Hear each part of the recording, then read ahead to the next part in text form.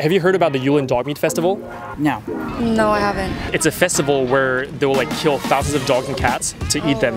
So I can already see you have a reaction. So, so what do you think? What do you think about that? Well, it disgusts me, but you know what? That's their culture. Oh, horrific. I abhor that. I, dogs should not be eaten. I think that's crazy, but I don't know. This is probably going to be very controversial, but I love Like- controversy. dogs, cats, and like cows and pigs, like I feel like they all should be equally treated. As much as I disagree with it, as long as they don't come here and try to eat our dogs here.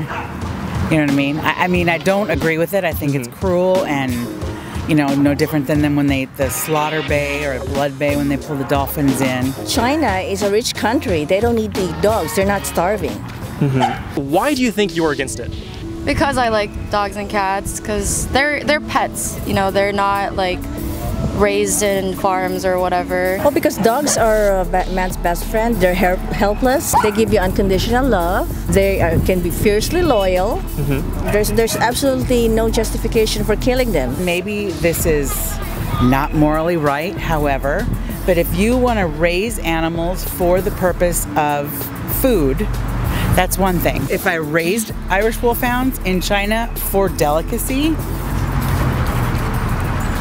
it's disgusting. It's still, it's not right. Some people would say that, well, you criticize China for eating dogs, but what about in the United States? We eat other animals like cows, chickens, and pigs. Do you think that there's a moral difference in killing a dog for food and cow- killing a chicken or a cow or a pig or a turkey or a goat or a fish for food? No, I think uh, if we can stay away from eating cows, also I'm, I'm all for that, and chickens.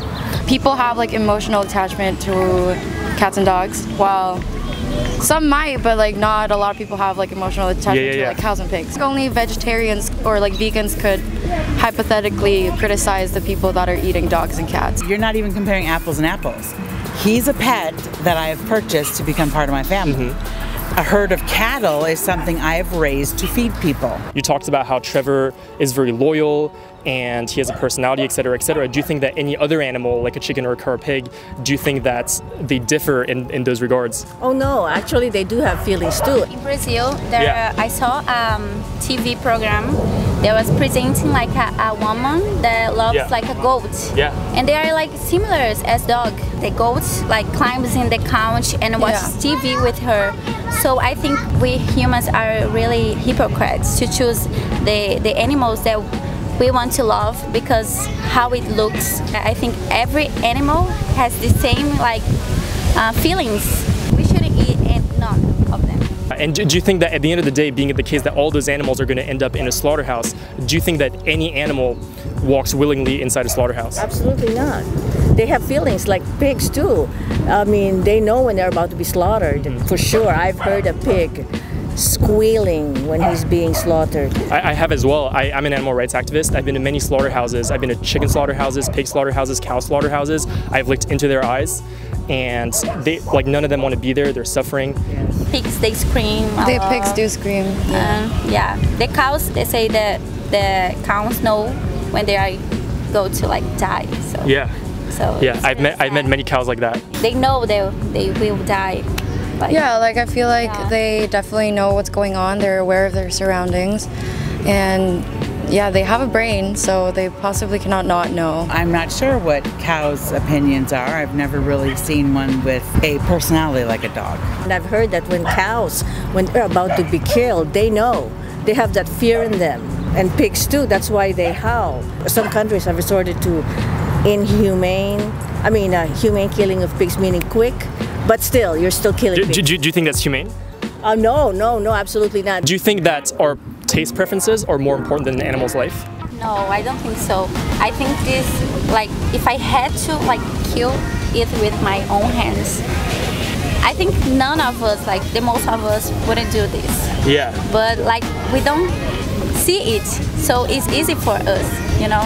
But it's wrong.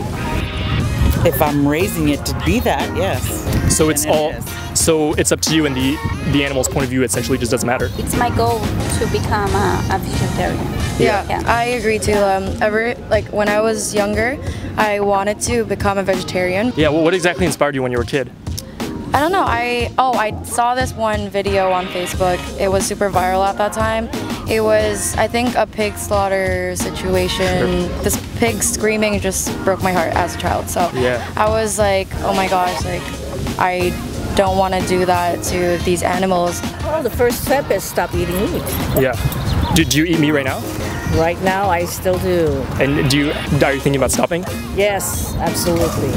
Especially, um, you know, pigs, because I, I, I can still hear their voices when they get squealed in the Philippines. Yeah, it's it's horrible, and uh, you know, and, and a lot of times we kind of think about this, and we're like, oh, like the first step is, is to stop eating meat. But one thing that is not always very clear is that there are so many industries that exploit animals, and and for food, we look at something like the dairy industry or the egg industry, and you know, do, do you think that in the dairy industry or the egg industry, those chickens and cows suffer any less than the chickens and cows who are used for meat directly? Oh no, no, it's it, they all die deaf. I mean, that's just an indirect product. If I gave you some resources to kind of learn more about this, do you think that's something you want to learn more about? Sure. I would Yeah, watch but I it. think Cool. So I wrote watchdominion.com. So that's a website where you can see a movie that's about different industries that exploit animals. Not just like the food industry, but it'll also show you things like uh, like leather, wool, fur, down. It'll show like like animal testing. Um, and I think Yeah, it's I'm a, a fashion major, so yeah, yeah, and I think I think it's a it's a great place to just educate ourselves on the topic, you know, yeah, I would because love the least to find out. And then because you, you talked about the, uh, the the health problems of eating meat. Yes. What the Health? Do you have Netflix? Yes. Okay, so What the Health is a documentary about that topic. I think you're going to enjoy it very, very much. Oh. And I think it's going to be very, very informative to, to kind of learn more about that aspect as well. Okay. Yeah. Great. I, I'm, I'm going to look at this up tonight. Thank you guys so much for talking to me. Appreciate it so much. Thank you. Yeah, thank you so much for a talking to nice- us. Well, thank you so much for talking to me, Kim. I appreciate it so much. Have a nice- Have an incredible day. You too.